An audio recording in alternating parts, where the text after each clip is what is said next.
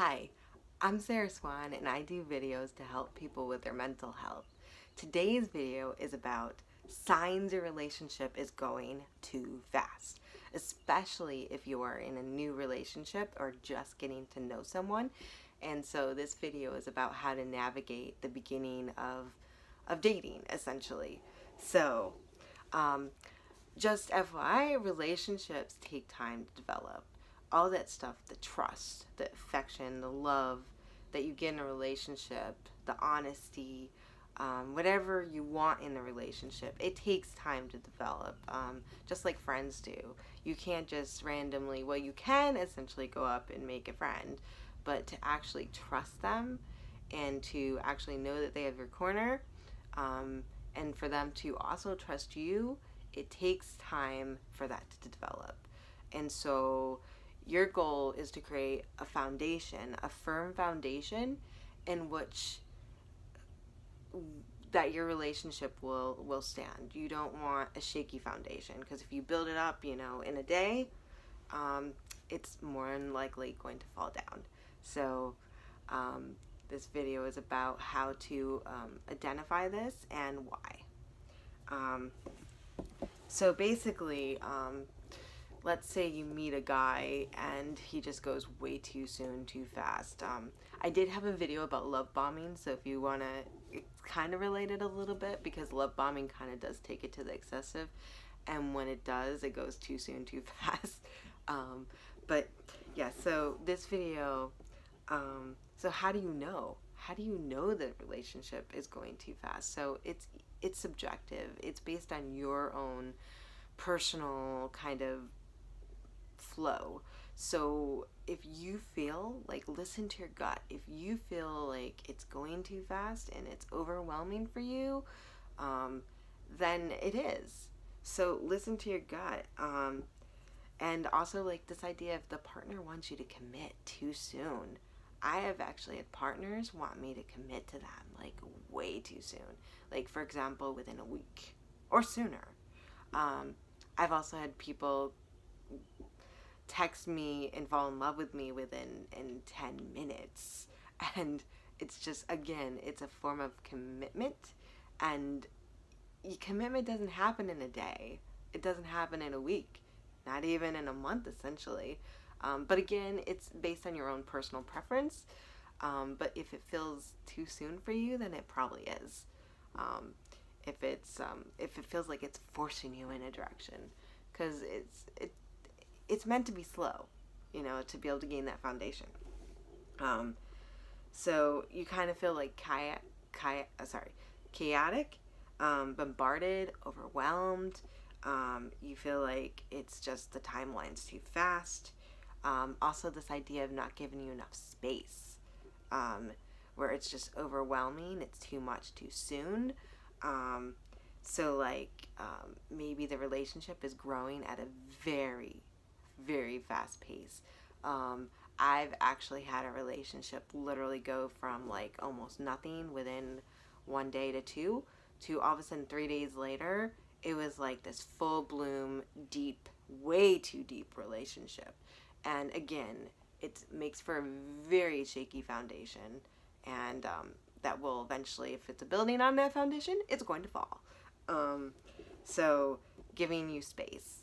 Um, also, this idea again with the deepness, sharing too much, too soon, too fast. Again, you cannot trust the other person if they if if it goes too fast. I mean, it takes time to develop. Um, another thing is with the space is the 24 7 idea like it's just again you feel like you have too much like maybe texting um, i've actually had guys text me almost 24 7 and phone calls that lasted way too long. And and again, this is a learning experience that I had to uh, learn, but boundaries. Boundaries are very important. Um, it's self respect and self loving. Um, you know, it's just too much. So, um, also mapping out the future. So, again, too soon, too fast. Um, if they're mapping out the future, they're saying, I'm going to marry you within two days, um, or they're thinking about things that they could do with you, and that is fine to a point. But if it's even more, um, and if it's over excessive, then it's just too much too soon. And that's, again, that's how you know. So, why is this all bad? Again, going back to the foundation. So, again, trust takes time. Um, it becomes unstable. Um, it can be addicting. Again, it gives you this kind of love high, um, this fantasy world. And when you have this fantasy world, you cannot think logically.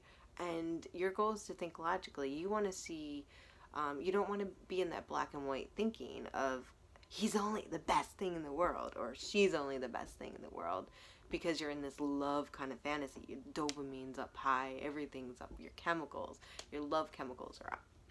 Um, and so when you are in this world, you you can't see them for who they really are. You can't see whether this person is a, a good match for you or not. Um, and you really, and it's better to be more in that stable kind of ground with logic. Yes, falling in love is great, but if you're too high, you can't notice their flaws. Um, and you want to notice their flaws as well as their good aspects, and you want to make a decision of whether that person is right or not for you, whether you can trust them. Um, and again, it takes time to build that. I can't emphasize enough. And it also rec- it also like if you allow it to go too soon, too fast, it also shows about your own self worth and your own desperation, your own insecurities.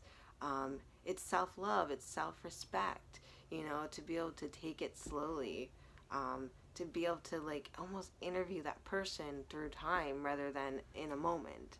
I'm going to fall in love with you.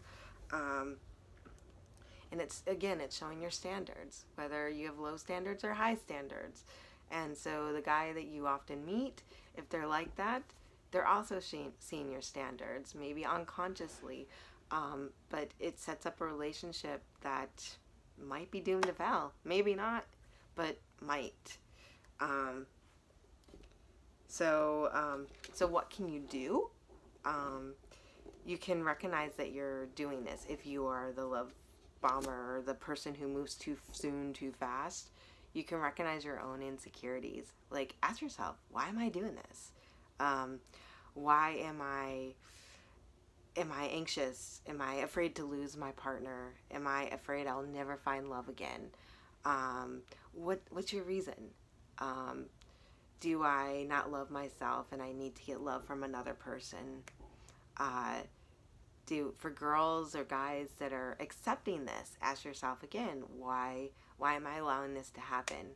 Why am I continually getting into these types of relationships? You know, am I am I again do I feel insecure just like the partner? Maybe. Do I feel desperate? Do I feel um, I'm un- unloved unless I have this love receiving? Um, like, ask yourself, what is it? Um, do you need more more self love for yourself? Do you need more boundaries? Um, and when you ask yourself and you work on yourself and you gain these for yourself, you will choose better guys or girls if you're whatever, whoever you're dating. Um, and um, and also you'll you'll know what you do and don't want, and you'll know how to take it more slowly. Or if you're on the receiving end of that, you can tell the other partner and be like, "No, this is not okay," and give boundaries. Um, which shows, shows self respect. And then the other partner, if they are willing and capable and abled, they will follow your lead. Now, if they're not, they'll leave. So, um, and and also recognize that um, the one guy or girl, whoever you're trying to date, that could be the one. Well, there's more people out there, and um, and if someone is unavailable, if someone is um, is insecure and could leave you, um, that's also then know that you don't have to be with that partner. You can choose to be with a partner that's available. You can choose to be with a partner that will not leave you, that's willing to commit, that's willing to give you space, that's willing to take time to get to know you before they commit. So, um, I know that's a hard pill to swallow, but um, yeah.